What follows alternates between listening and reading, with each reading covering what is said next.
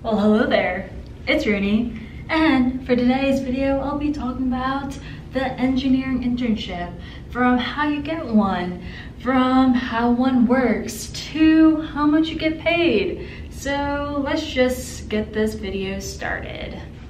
So when it comes to a engineering internship, always start early when looking for one. So go to every career fair, say yes to every interview because you never know what opportunity lies and also you have a better chance of finding a internship later on. So now I'm gonna share some personal experience of how I got my internships. So my first internship I got the summer between freshman and sophomore year and most of the time companies usually don't hire freshmen going into their sophomore year because that's just the time where like people are changing their majors. Maybe they realize they don't want to do engineering. So most of the time companies and firms usually don't look at freshmen to hire but not all companies. There are some companies. But I actually got this internship from a family connection. I got this internship at this geotech consulting firm and that was an experience because I made so many mistakes from not asking enough questions because I didn't, I really didn't know what geotech consulting was. I knew that geotech worked with soil and that was it of my knowledge. And I was just very quiet at the time. Um, I just wanted to do my work and be seen as doing a good job, but I should have been asking questions to see that I was interested. I was very interested. I had questions all the time, but I just utilized Google, and sometimes Google didn't really answer my questions. And then I also made the mistake of driving a truck into some wet clay and got it stuck. It was a very embarrassing moment of my life and I would not like to experience it. But also that was the summer where I actually drove a truck for the first time. So I did experience that. And that experience was a resume booster for sure. It gave points to talk about. Um, it actually allowed me to get more interviews. It was just a really good experience and thanks, thanks for that family connection, you know, use them. And if you don't have them, LinkedIn is your second best choice. Okay, so my second internship was during the summer of the quarantine, during COVID and how like a lot of things were getting canceled, specifically internships. And so at that time I was interviewing for this company that I found at the career fair and they ended up liking me and they wanted to hire me, but they ended up not hiring me because of COVID. And so May school ended, I went back home thinking that I wasn't going to have an internship. Well, this, well, it's not a company, the state actually, the state of Louisiana called me up and was like, are you interested in a internship? And I was like, yes, because I wasn't doing anything else. And so I didn't have an interview. I got hired based on my resume. And I really think I got that job because I had put down that I worked at a geotech consulting firm and I did this and that. And honestly, that was probably the reason why I got hired. But at that internship, it was very low key. Work was slowed down because of COVID, but I did get some on-field experience and another thing to add on my resume. And now my third internship, where I'm currently at at the moment. They don't know that I'm filming this and hopefully I don't get in trouble but I doubt they'll find it. But anyway, I currently work at a design firm where they design power lines.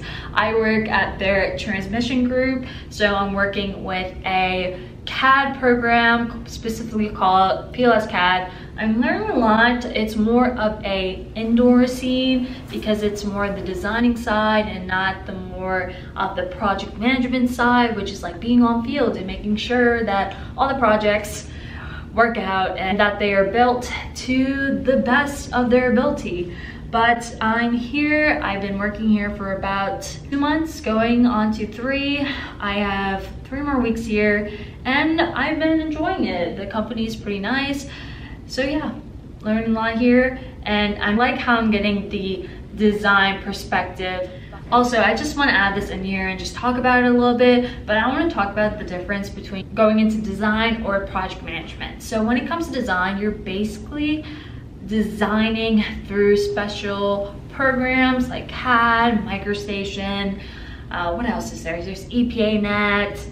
There's, there's so many programs to use to build roads and bridges and power lines. Well, actually there's only PLS-CADD to build power lines, but you get, you get the idea. So you're modeling through computed aided programs to, you know, create things for the public because every single day I promise you, you probably use a road or use a toilet or you need electricity to charge your phone and watch TV. You don't realize it, but there's a lot of things that go behind the scenes. And so designers, they usually are the ones who create the book, uh, specifications and designs to follow and how the road should be built and what grade it should slope down from, all the specifics, you know? And then the project managers get the book from the designers. Well, there's also more stuff that goes into it, but the project managers get the designs and they have to go build it with the contractors and you know actually build it up make sure that it matches up the designs and if something in the designs don't work out in the field then you have to do some change orders and this and that and XYZ to make sure that this road or this power line works. And so when it comes to design work, you're mostly gonna be in a office environment, you know, in the AC. Uh, you might have a field visit here or there to actually see the field because sometimes Google Earth has taken pictures back in like 2015. So you have to see how the field is now in 2020. Well, it's not in 2020, 2021. That's usually the environment of design work. But project management, you're gonna be out in the field, out in the maybe 105 degree weather. If you're up north, like in the snow, not well, not in the snow, but like cold weather. You know what I mean? Yeah, I've experienced both, and I don't know. I don't know which one I like better. I like, wish I could have half and half for sure. Because like some days, like staying inside, working on computer can be kind of stagnant, you know? So you might be wondering, how do engineering internships work? Basically, it depends on the company. More well-established companies like Shell, Chevron, uh, maybe P&G, they have specific programs where they're gonna match you up with a mentor and you're gonna be doing this and that and there's some things you have to accomplish and you might have to end your internship with the presentation. The company that I'm working at right now, it's more of a smaller company, so they don't really have their internship program really established. So I'm just like basically helping engineers with work. I've, I've started my own projects, but of course with close guidance, and I had a lot of questions because guess what? I did not know what I was doing. So it all depends on the company and usually they'll let you know. I've, I was given a booklet here of things to accomplish, but it wasn't very, you have to do this. You know, it's more like, here's something of a guidance and you can follow it, but you don't really have to. And as I said, you might be given a project to create and design, but of course you're gonna have all the help that you need because you're a novice and you have no experience in this field of work. So ask questions, of course.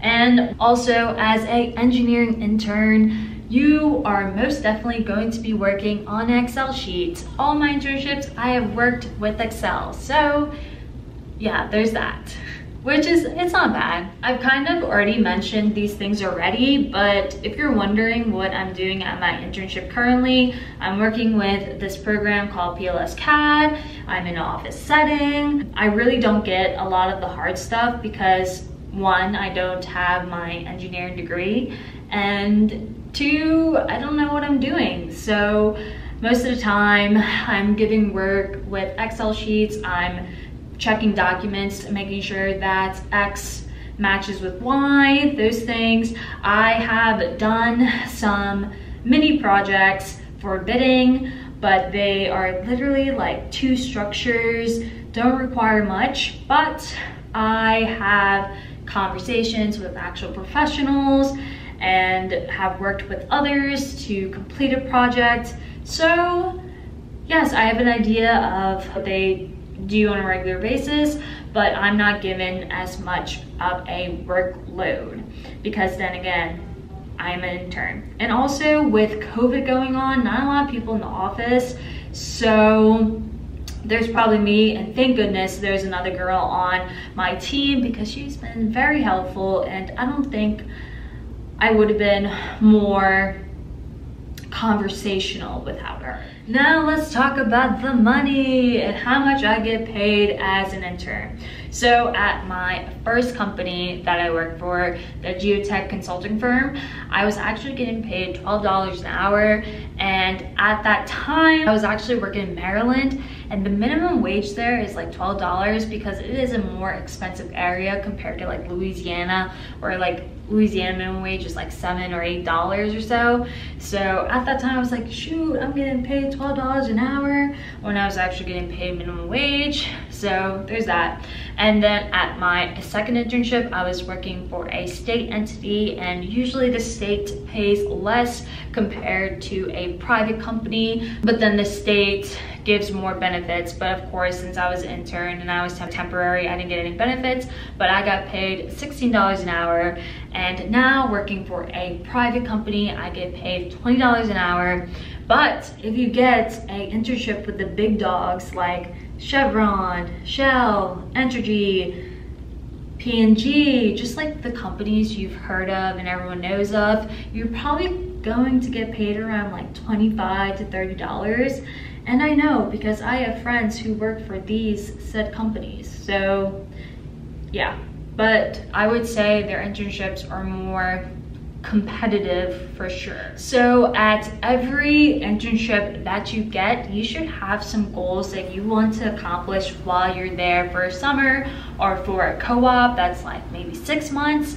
So the things that I try to accomplish is one, leave with a contact to use for future recommendation letters and for scholarships. This becomes so crucial because it makes it so much easier when you're trying to find a professional to write you a letter or recommend you for another job. Also, when it comes to like people you work with, connect with them via LinkedIn because in the future you can contact them, see if the company that they're working for is hiring. It's just a good base to have because you're building connections for the rest of your life. The second thing I try to accomplish at a internship is to leave the company wanting to hire me in the future. So I have security when finding a job or use it as a way to wage other companies when it comes to salaries or benefits. And then three is to learn what I dislike about a company or certain aspects of the job. For instance, I'm currently commuting an hour here, an hour back, and I really don't like driving. Like I should be the last person to be on the roads. But yeah, that's that's some perspective. Also, I'm driving longest bridge in the Americas and like the number one longest connecting bridge in the world, but we're not like, we don't have the title of having the longest bridge. Um, if you're wondering what it is, you should look it up. You should look it up. But also, I was I was actually looking this up. Louisiana has like the top four longest bridges in like the United States, which is which I did not realize. But don't worry, we're also last place in a lot of other things, sadly. So with that, that concludes the end of this video. It is currently 5.40, almost 6, and I have to drive an hour home. So that that's going to be fun. But that is the end of this video, and I hope that I gave you insight about the engineering internship, and hopefully you find one if you're an engineer. So I believe in you. I want to wish you the best of luck, and I will catch y'all later. Okay. Bye.